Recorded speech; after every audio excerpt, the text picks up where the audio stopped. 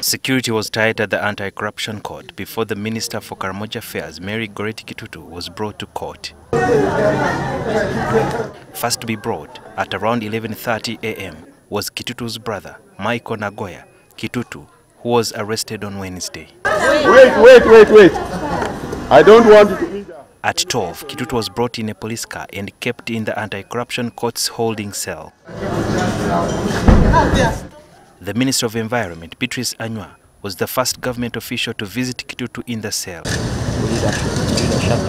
Kitutu, who is a geologist by profession, had previously served in the Environment Ministry. Hello, get away from the door.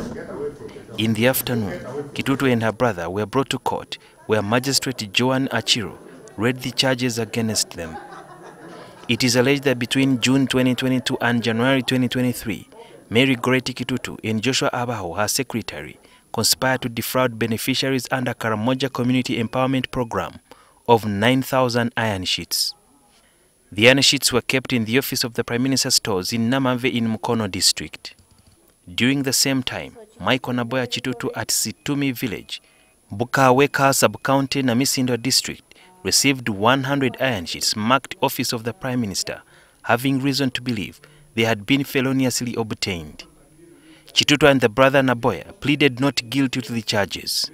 During the bail application, the Chituto's lawyers led by Michael Asebu, a former Deputy Director of Public Prosecutions, submitted grounds that court should consider to grant Chitutu bail. They submitted a title for land in Kololo and Wachiso, her diplomatic passport, four sureties, who included her husband George Chitutu, former MP Simon Mulongo, and Mbale North Division MP Seith Wambede, among others. Besides Kitutu being a prominent person, a mother, and of advanced age, her team argued that she is hypertensive. hypertensive heart disease with left ventricle stiffness.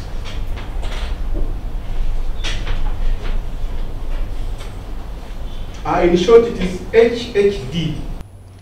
However, prosecution led by the deputy DPP Josephine Namatovu discredited the evidence adduced by the Manafwa woman MP's lawyers. And our concern is the competence of this physician to handle and diagnose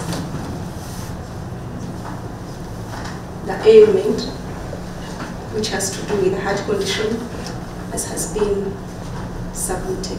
In terms of the land titles tabled, prosecution argued that there was no recent certified search by the Lands Registry which cast doubt on the authenticity of the titles. We need time to verify whether what this the titles purport to be is actually what they are. because of abuse of court process. The respondents are indicated here to be three. How are we to treat an affidavit in response to one person's application that is made by response to three, one of whom is even not in court?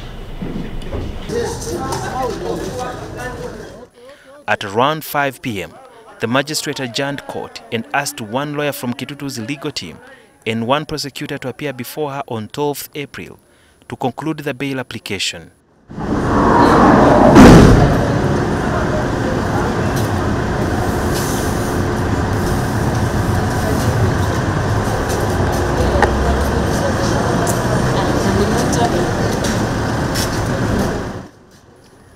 Kitutu and her brother were remanded to Luzira prisons. This is not selective prosecution.